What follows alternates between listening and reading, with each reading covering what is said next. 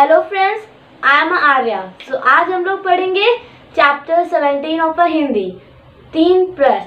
So guys subscribe this channel and hit the bell icon and hit the bell icon get you all notification for about videos and like this video and share your friends and family member so guys let get start this video हमारा जो है तीन प्रश्न का उसका first page मैंने face to face video में complete कर दिया था।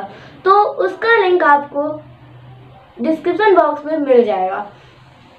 हमारा जो सेकंड पेज है, उसे हम लोग पढ़ते हैं तो उसमें क्या है? उसमें है, साधारण वेशभूषा में राजा जंगल की ओर निकल पड़ा। जैसे ही वह आश्रम के करीब पहुँचा, उसने अपने सैनिक दल को वहीं रुकने को कह दिया। अकेला आश्रम की ओर चल पड़ा। आपको स्क्रीन विजिबल होगी। तो हमारे जो साधारण वेशभूषा, हमारे जो राजा थे, वो साधारण वेशभूषा जंगल में चले गए। आप यहाँ पे देख पा रहे होंगे किस तरह से तो साधारण से वेशभूषा में चले गए हैं। तो ये एक ऋषि मुनि था जो यहाँ पे खुदाई कर रहा था। तो उन्होंने सैनिक दल को वहीं पे रोक दिया और ये साधारण वेशभूषा में उस झोपड़ी के पास आए। और जो हमारा अकेला आश्रम की ओर चल पड़ा, वो अकेले आश्रम की ओर चल पड़े। फिर आश्रम पहुंचकर राजा ने देखा कि एक वृद्ध आँगन में खुदाई कर रहा था। राजा ने उसे उसे प्रणाम किया। उस वृद्ध ने प्रणाम का उत्तर दिया और अपने काम में लग गया। एक सूखी काया में व्यक्ति को इतना श्रम करते देखकर राजा ने सोचा कि खुदाई करते करते थक गया होगा। तो क्यों ना उसकी सहायता कर दी जाए। राजा को सहायता के लिए आगे बढ़ते देखकर वृद्ध अपने कार्य में जुटा रहा। राजा राजा पास जाकर नम्रता पूर्वक बोला, हे रिसीवर मैं आपके पास तीन प्रश्नों का उत्तर मांगने आया हूँ। मैं कैसे जानूं कि सही कार्य के लिए सही समय कौन सा होगा और उस कार्य की सफलता के लिए कैसे कार्य कर तो कर तो जो हमारा है, उन्होंने कहा कि कार्य कर, कार्य करता हो। ऋषि ने कोई उत्तर नहीं दिया और अपने काम में लगे रहे। राजा ने कुछ देर बाद कहा, आप थक गए होंगे। लाइए यह कुदाल मुझे दे दीजिए। मैं आपकी मदद कर दूँ। आप थोड़ी देर विश्राम कर लीजिए। ऋषि की सांस फूल रही थी। उन्होंने राजा को कुदाल दे दी। तो जो हमारे आश्रम के पास जब हमारे राजा पहुँचे तो उन्होंने एक वृद्ध को खुदाई करते हुआ खुदाई करते हुआ देखा। आप स्क्रीन पे देख पा रहे होंगे कि एक वृद्ध खुदाई कर रहा है। तो जब उसने उसको देखा तो पहले राजा ने उसे प्रणाम किया। फिर उन्होंने कहा, उत्तर मतलब उन्होंने उत्तर दे दिया। उन्हें प्रणाम करके उन्होंने उत्तर दे दिया और अपने कार्य फिर से लग गए।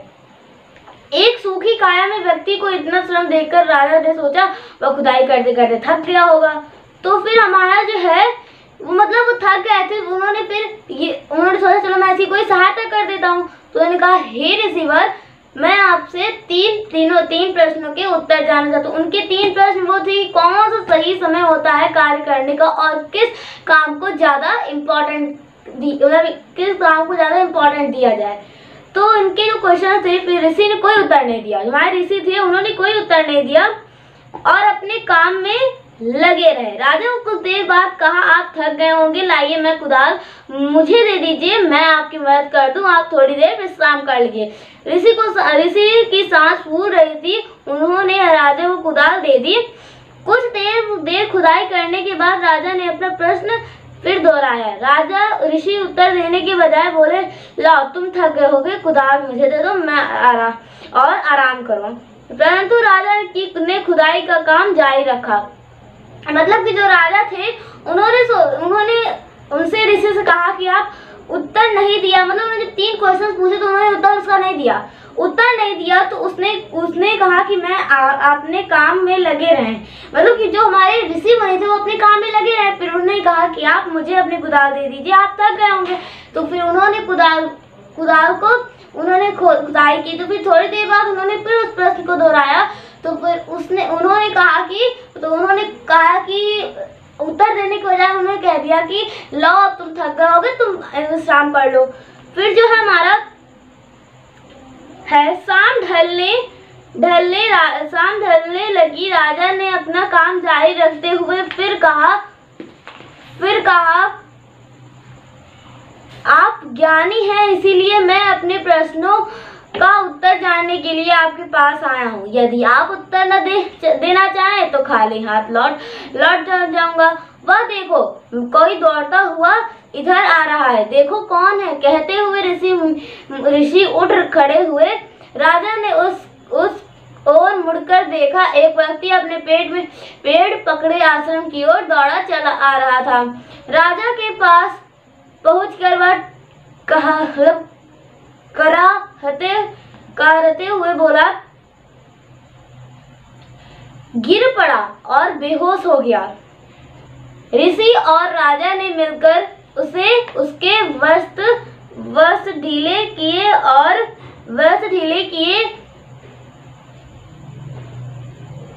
ढीले किए और फिर फिर तो देखा कि उसके पेट में खून बह रहा था। राजा ने उसके जख्म राजा ने उसके जख्म को धो, धोया और उसमें अपने रुमाल में से उस खून को के बहाव को रोकने का प्रयास किया। प्रयास किया। सुबह मतलब कि जब वो वो थे, हमारे जख्म, जख्मी जो थे, उन्होंने पर राजा ने उसमें धोया, फिर उसमें रुमाल बाँध दी उस खून पे तो उसका खून का जो बहाव था, वो थोड़ा रुक गया। उसे पानी से धोकर फिर पेट में जख्म पर रख देता रख देता। ऐसे उसने कई बार दिया अतंत खून कर साफ़ बंद हो गया। राजा राजा ने अपने व्यक्ति के चेहरे पर चेहरे पर पानी के छींटे मारे और दो घूंट पानी पिलाया। अंधेरा छा गया था, राजा ने घायल व्यक्ति को आश्रम के भीतर ले जाकर लिटा दिया। राजा भी बहुत थक गया था। एक तो लंबा सफ़र और फिर आश्रम के में किया गया परिश्रम। उसे भी नींद आ गई। वह, और वह, वही, और वह भी वहीं सो गया। सुबह नींद खुली तो वह उसने पहले दिन का सारा घटनाक्रम याद आया। उसने आँखें खोलकर देखा तो वह घायल व्यक्ति उसकी ओर देख रहा था। धीमे स्वर में वह घायल व्यक्ति कह रहा था मुझे क्षमा करना मैं तुम्हें जानता भी नहीं तो फिर क्षमा किस बात की?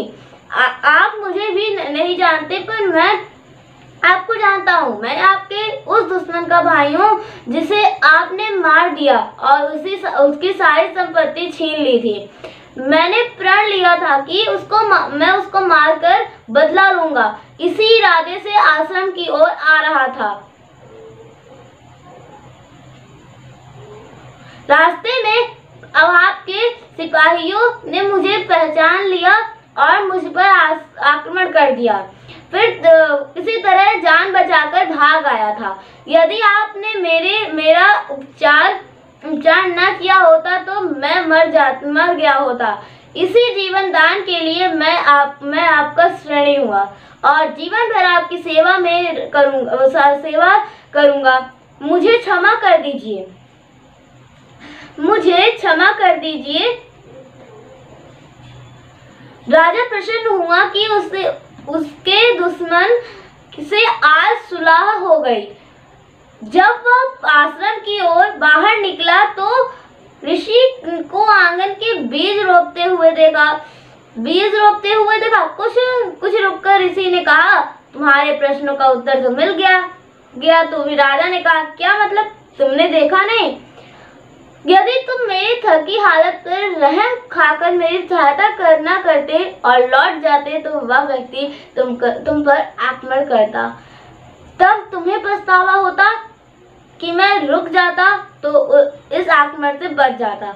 तो सही समय का सही समय तो सही समय वह था जब तुम रुक कर मतलब कि जो हमारे राजा थे वो, उन्होंने जो हमारे ऋषि थे, जब वो कुटिया से बाहर निकले तो उन्होंने कहा कि मैं उन्होंने तीनों प्रश्नों को फिर से दोहराया नहीं। उन्होंने देखा कि वो खुदाई कर रहे थे तो फिर उत्तर जानने के लिए ऋषि के पास पहुँचा मतलब उत्तर जानने के लिए। फिर से, और उत्तर परीक्षा करने लगा। फिर रुक कर ऋषि ने कहा, तुम्हारे प्रश्नों का तुम्हें उत्तर मिल गया है।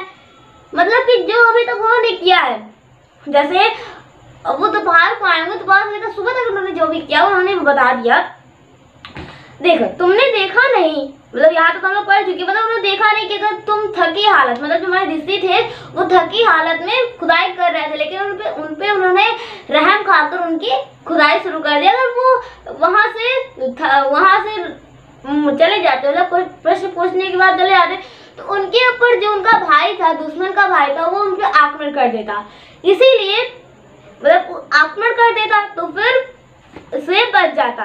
तो सही समय वह था जब तुम रुक गए और मेरे प्रति तुम्हारी सहानुभूति और सहायता मुख्य कार्य बन गए।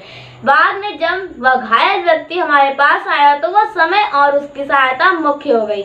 यदि याद रखो, एक याद रखो, एक ही समय महत्वपूर्ण होता है तो और वह समय है जब तुम्हारे पास कुछ करने की शक्ति है। वह वह व्यक्ति महत्वपूर्ण है, जो उस समय तुम्हारे पास भले ही तुम उसे नहीं जानते कि उसे, उससे भविष्य में संपर्क रहे न रहे और उससे महत्वपूर्ण कार्य है। तो मतलब कि हमारे जो हमारे जो थे, ऋषि मुनि तो उन्होंने उनसे ये कहा कि तुम अगर अगर उनके हाथ मतलब कि अच्छाई के लिए उठ रहे हैं तो फिर उनके तीन प्रश्न के पहला उत्तर था कि तुम्हें जो, तुम उस समय जो तुम घायल व्यक्ति को देखा, अगर तुम उसकी मदद ना करते तो फिर वो मर जाता। लेकिन उन्होंने उसकी उसकी सहायता की तो वो जीवित हो तुम्हारे मतलब कि समय तुम्हारे पास है। जो उस समय पर तुम्हारे पास है, उस उस समय से अभी जब उठा तो उसके पास कौन था? वो घायल व्यक्ति।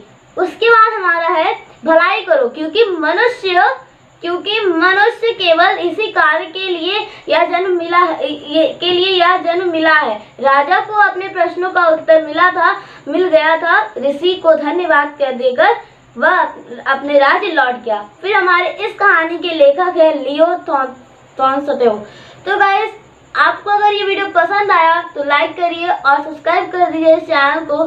So guys bye bye